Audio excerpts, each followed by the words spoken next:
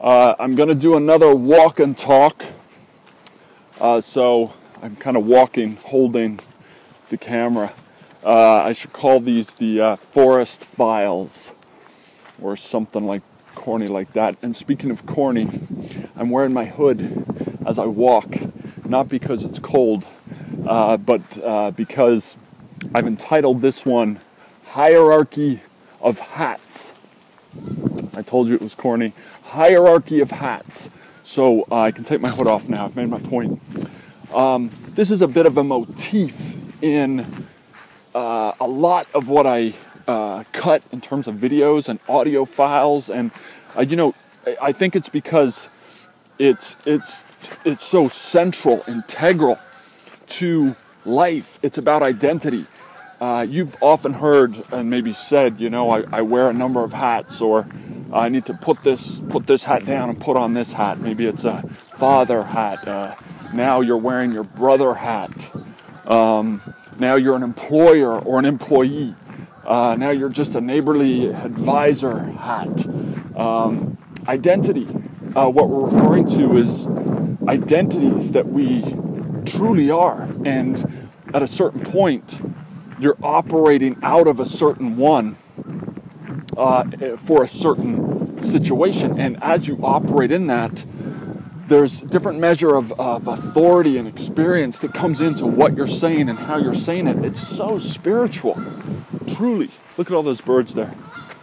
All the geese are flying in. It's so spiritual. Uh, identity. Uh, and and so I was thinking, you know, we, we, we, we have all these these variety of hats that we wear, but then there can be a hierarchy of hats.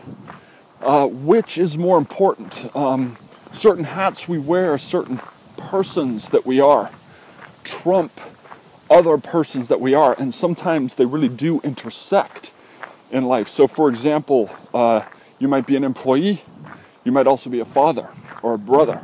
Now, something might come up that um, is really pressing in your family relationship, and your employer needs something from you, but your brother needs something from you, and maybe both uh, needs cannot be satisfied. And all of a sudden, you have a decision to make about which hat, which person it comes first. What is the hierarchy uh, of, of who you are in a particular moment? And it can change depending on certain contexts. Um, you know, the Lord speaks to us about who we are, that we are breathed from Him. He created us. We are His. Uh, you might have heard that powerful, beautiful scripture, Psalm 139 14, um, where God is saying that He knit you together, He, he, he formed you in the womb um, of your mother. God made life and God made you. And it is really critical to our lives and who we are, not, not as an extra, not as something we acquire, but intrinsic to the very nature of who you are and what your destiny and your future is.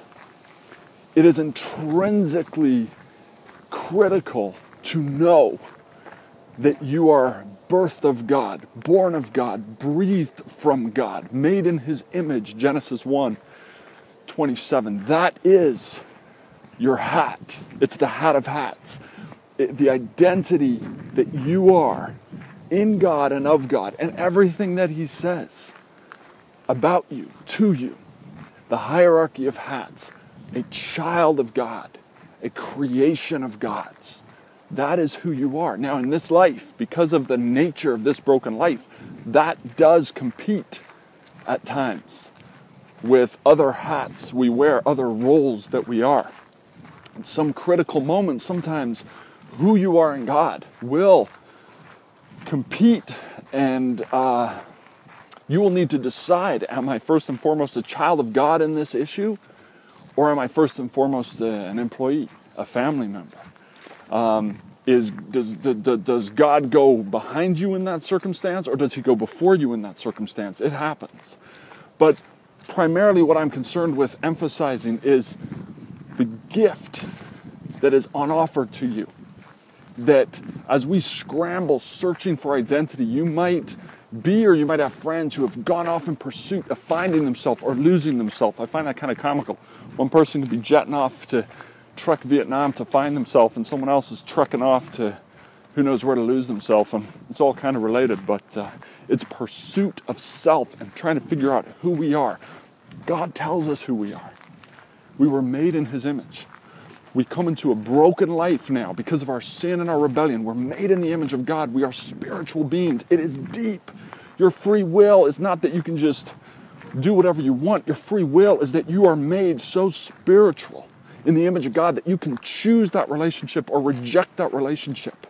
You, li- I mean, it is dangerous. It's like taking a little kid and, you know, letting them cross the road if they want to cross the road. They, they, they cannot determine the consequences of that, but but they, they because of how you've made them with their own arms and legs and, and, and certain boundaries, they can walk themselves into danger. Such is the expression of personhood in mankind. And God has made you like that. He has made you spiritual and set you opposite Him to be in relationship with Him.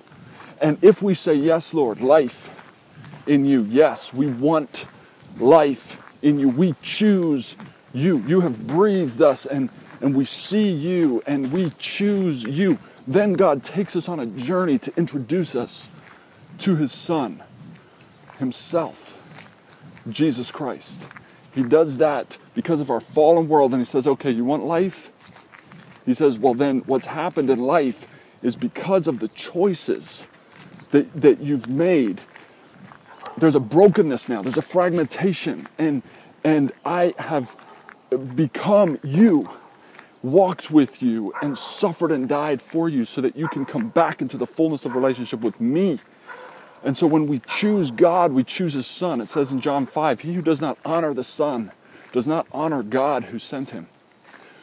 God introduces us to Jesus Christ and He says, This is the, the bridge, this is the path, this is the light. And as we enter into relationship with Jesus Christ, we enter onto a path that will just become brighter and brighter. It says in Proverbs 4:18, "The path of the righteous is like the first gleam of dawn, ever brighter until the full light of day."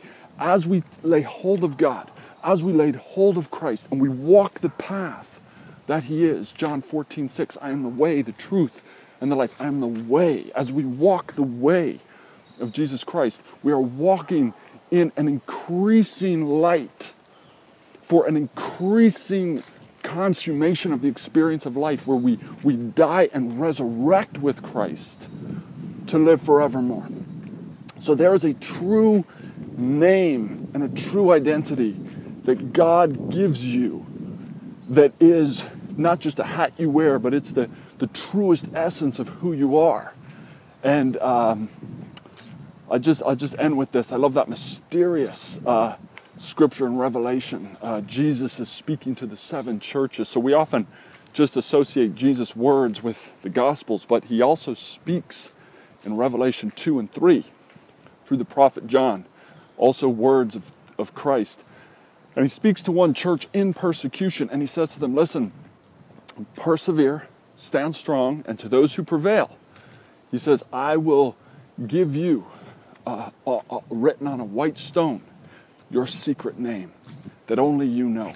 It is just, you know, these are God's children, God's people, God's church, but there's still this fullness of experience of who they are that is going to become known.